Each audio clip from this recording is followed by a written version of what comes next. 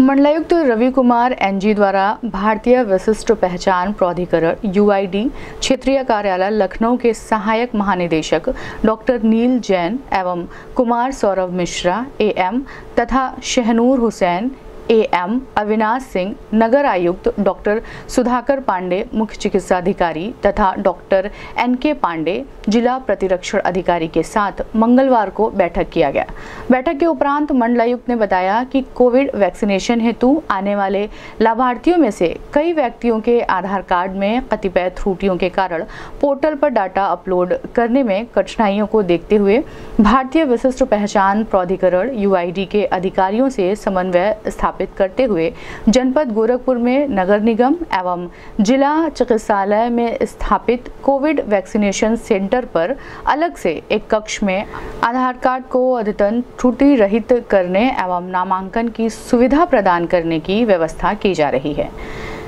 इस सुविधा का लाभ प्राथमिकता में कोविड वैक्सीनेशन कराने आने वाले व्यक्तियों को मिलेगा, उसके बाद अन्य व्यक्तियों को भी इसका लाभ मिलेगा। गोरखपुर जनपद के निवासी जिनके आधार में कोई त्रुटि है, वे इन वैक्सीनेशन सेंटर पर संचालित आधार कैंप में आकर इस सुविधा का लाभ उठा सकते हैं। मुख्य चिकित्सा अधिकारी गोरखपुर द्वारा अवगत कराया गया है कि कतिपय गर्भवती महिलाओं के आधार कार्ड न बने होने के कारण जननी सुरक्षा योजना अंतर्गत मिलने वाले अनुदान की राशि नहीं मिल पा रही है। मंडलायुक्त द्वारा सीएमओ गोरखपुर को निर्देशित किया गया है कि जिन सीएचसी, पीएचसी क्षेत्र में आधार कार्ड की समस्या आ रही है, वहाँ भारतीय विशिष्ट पहचान प्राधिकरण के अधिकारियों के सहयोग से विशेष कैंप लगवाकर पात्र लाभार्थियों के आधार कार्ड को बनवाना सुनिश्चित कराएँ। मंडलायुक्त रवि कुमार एनजी ने भारतीय विशिष्ट पहचान प्राधिकरण के अधिकारियों को जनपद गोरखपुर में वैक्सीनेशन सेंटर पर